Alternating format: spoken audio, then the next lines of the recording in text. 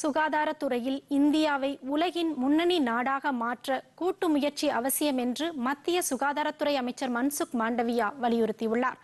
புதுதில்லியில் பாரத ஆரோக்கிய பெருவிழா நிகழ்ச்சியில் பேசிய அவர் நாடு சுதந்திரம் அடைந்ததிலிருந்து சுகாதாரத்துறையில் மாற்றங்களை ஏற்படுத்தி வரும் பத்ம விருது பெற்ற மருத்துவர்களின் பங்களிப்பு மற்றும் சாதனைகளை பாராட்டினார். கொரோனா பெருந்தொற்று காலத்தில் தங்களது உயிரை பணயம் வைத்து பலரது உயிரை காப்பாற்றிய மருத்துவர்கள் முன்களப் பணியாளர்கள் மற்றும் சுகாதார பணியாளர்களின் அளப்பரிய பங்களிப்பிற்கு நாடு பெரிதும் கடமைப்பட்டுள்ளது என்றார். மருத்துவர்கள் மற்றும் அரசு உள்ளிட்ட அனைத்து தரப்பினரின் கூட்டு முயற்சி மூலம் சுகாதாரத்துறையில் இந்தியாவை உலகின் முன்னணி நாடாக மாற்றுவதுடன் சுகாதார சேவை வழங்குவதில் சர்வதேச அளவிலான அடையாளமாக இந்தியாவை மாற்றுவோம் என்றும் மன்சுக் மாண்டவியா தெரிவித்தார்.